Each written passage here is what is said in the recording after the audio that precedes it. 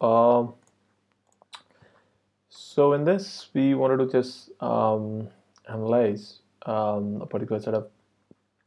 We want to model a CV, which is uh, SQL injection in the Vitro project, Vivo Vitro project.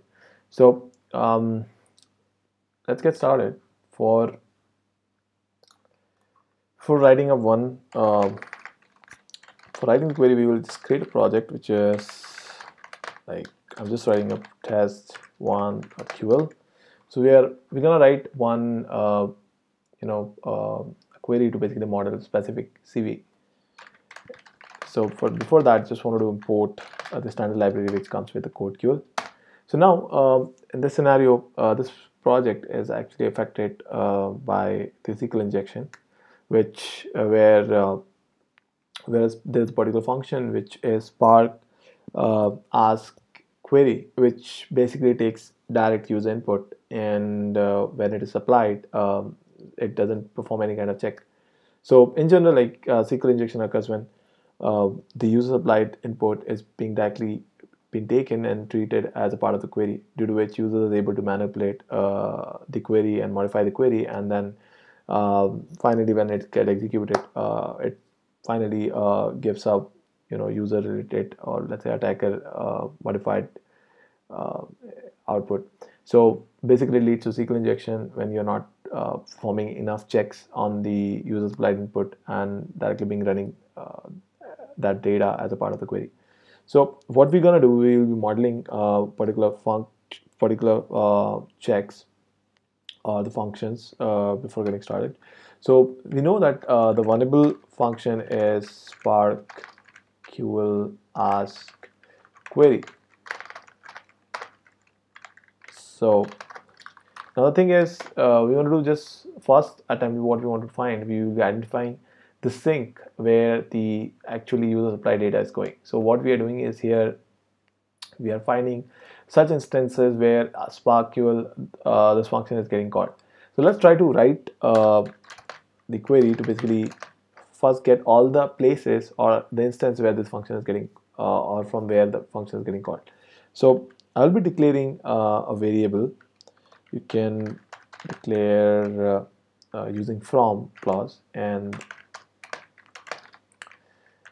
a as a short and method so what we are doing here is we are defining uh, a type, a variable type, which is method access, which basically gives us access to a function which is called um, using a, a, set of arguments. And this method basically allows uh, this variable of type method basically allows us to um, access the properties of the function. Um, for example, if you want to access the name of the function, you can use a get name property, uh, you know, function to basically get the name of that uh, function if you want to get the number of arguments you can take this as a reference and then call certain other functions to get the data so this pretty much helps us identifying uh, the you know the calls uh, for which or from where the SPARQL uh, this function is getting called so let's write up one condition where we want to do where clause is used to basically define condition in CodeQL where you wanted to find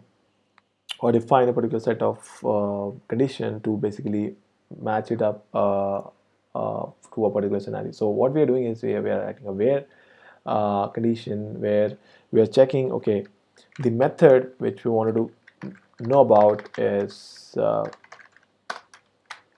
uh, is of the name which is this name. Let's write the same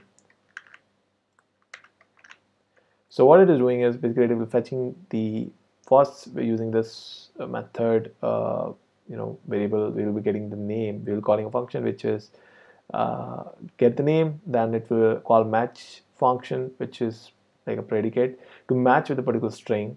And since this matches with our function also we want to make sure that the method which is getting called is our method. So we will be using method access to get particular method which is getting called. And since we have already obtained the instance uh, of our function we will type method. And uh, select. So what we are doing here is we are ensuring that the method which is being um, basically which is being called which is using ma.get method as uh, m which is instance which we obtained from here where the uh, method name is spark sql query. So this basic check will give us uh, the output from where uh, this method is being getting called or where all the instances where this method is being uh, called from. And finally we'll be using select basically select being used to show the output of the query. So you can write m and ma so what does mean is basically we want both method which is uh, and as well as the method access uh, basically the call uh, in the output window um, as the output of this query. So let's run this query and check it is compiling and should give us yeah so it gave us 15 results basically showing up okay this was a method which was called and this was actually the call with an argument. So let's say if you check the first uh, call we see that okay um, this is called using query string. And let's see certain other uh, results. So this is the one particular case where user specific input uh, if we see this individual string individual URI is getting uh, to no triple for function. And then basically is being fed to uh, this particular SPARQL ask query function and it's being concatenated. So it means basically it gives us uh, the attacker to basically manipulate uh, the query. It's just a standard uh, SQL injection but for this uh, we can call it as SPARQL query injection uh, which is specific to this project so we are specifically like we are interested in to model uh, this specific uh, instances where the user supplied input is is taken as a string and as well as it is being concatenated. So let's see other results as well. So again, so these all instances will tell okay this was a call to this particular function and with particular arguments. Let's try to more make it more precise. So what we're going to do is we will define a particular uh, let's define method or you can say predicate. To check whether the uh, the supplied input is actually a string and is concatenated like is a con being concatenated before a string. Yeah it's being concatenated before uh, while while uh, used in this particular method. So uh, we have defined uh, predicate. Now the thing is the method in a method call whatever the arguments which are being passed are treated as or you can say taken as an expression uh, in CodeQL. Uh, CodeQL define them as an expression uh, so whatever the value it is there which is supplied to this particular function uh, is of an expression uh, type. So what we will do is we will be um, we are interested in particularly cases where uh, the the uh, let's say the second one where the user supplied input is actually a string and that is formed using concatenation. So there's a plus operator as well. So we will be using add expression as uh, you know uh, as an input because add expression basically tells up okay uh, binary expression using the plus operator. Basically it helps us to refer, uh, refer certain cases where the plus operator is being used and uh, later on we can use this argument type and check that whether this argument is also we will get the type of this argument using get type function and then also check whether it's, it's the, an instance of uh, of a particular uh, let's say uh, class which is of type string. So what it does is basically checks whether the uh, supplied argument is actually of type string is actually uh, uh, an expression which is uh, using uh, which is informed using plus operator as well as of type string.